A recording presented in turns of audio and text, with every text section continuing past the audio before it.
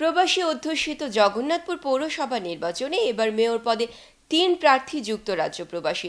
নির্বাচনকে সামনে রেখে প্রবাসী প্রার্থীরা মাঠে নেমে পড়েছেন। তাদের পক্ষে যুক্তরাজ্য থেকে আসছেন সমর্থকরাও।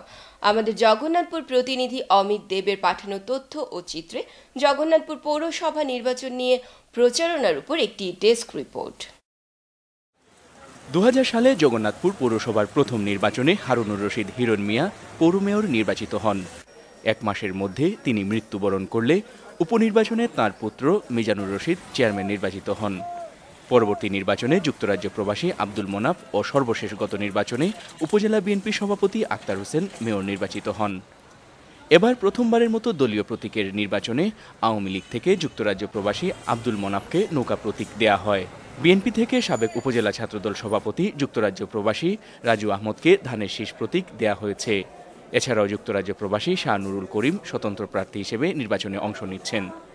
যুক্তরাজ্য প্রবাসী তিন মেয়র প্রার্থী মনোনয়নপত্র দাখিলের পর থেকে প্রচারণা চালিয়ে যাচ্ছেন। জয়ের ব্যাপারেও তিনজনেই আশাবাদী। জনগণের উন্নয়নের স্বার্থে পৌরসভা সভার উন্নয়নের স্বার্থে, শিক্ষার উন্নয়নের স্বার্থে, মাদক দ্রব্যর খাতা খতম করতাম এইটার স্বার্থে। আমি সকলের কাছে করজুড়ে ভিক্ষা চাইমু। আউকা আমরা সকলে একবার মিললে আগামী পাঁচ বছর লাগি সঠিক, সৎ এবং যোগ্য ব্যক্তিরে মেয়র হিসাবে ফুলসায় রেতে আমার দলের সকল নেতাকর্মীকে সাথে নিয়ে আমি আমার প্রচারণা চালিয়ে যাচ্ছি এবং আমার বিশ্বাস বাংলাদেশ জাতীয়তাবাদী দলের সমর্থিত পার্টি শুধু জগন্নাথপুরে নয় সারা বাংলাদেশে দেশের রাজনৈতিক পরিস্থিতিতে সারা বাংলাদেশে বিজয়ী হবে।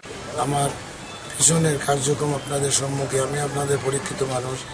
আর এবারে আমাকে আমার মাননীয় প্রধানমন্ত্রী এবং আমার দলনেত্রী শেখ হাসিনা যে সুযোগ দিয়েছেন এই সুযোগটা আমি কাজে লাগাবো এবং ভবিষ্যতে জগন্নাথপুর পৌরসভাকে একটি সেকেন্ডারি পৌরসভা হিসাবে রূপান্তরিত করার চেষ্টা করব।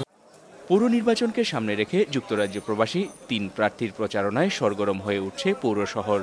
নাগরিকরাও প্রত্যাশা করছেন প্রবাসীদের মধ্য থেকে যিনি নির্বাচিত হন না কেন, তিনি যেন পৌরবাসীর সাথে থাকেন সার্বক্ষণিক প্রবাসের মতো উন্নয়নের মডেল হিসেবে রূপান্তরিত করেন জগন্নাথপুর পৌরসভাকে।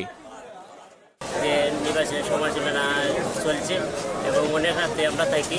রাত দুইটা এরকম থাকি এবং এই হয় আমি আমার ভোট এমন একজন প্রার্থীকে দেব যে প্রার্থী আগামী দিনে আমাদের জগন্নাথপুর পৌরবাসীর উন্নয়নে উনি ভূমিকা রাখবেন। তারা যেন প্রবাসে সময় না দিয়ে আমাদের এলাকায় জগন্নাথপুরে সময়টা ব্যয় করেন।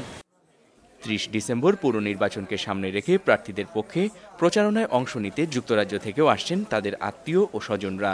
এবার মেয়র পদে তিনজন ছাড়াও কাউন্সিলর পদে চৌত্রিশ জন ও সংরক্ষিত মহিলা কাউন্সিলর পদে দশজন প্রার্থী মনোনয়নপত্র দাখিল করেছেন। এবার জগন্নাথপুর পৌরসভায় মোট ভোটার সংখ্যা চব্বিশ হাজার পাঁচশো আটানব্বই জন। Moinuddin Manju channel S news desk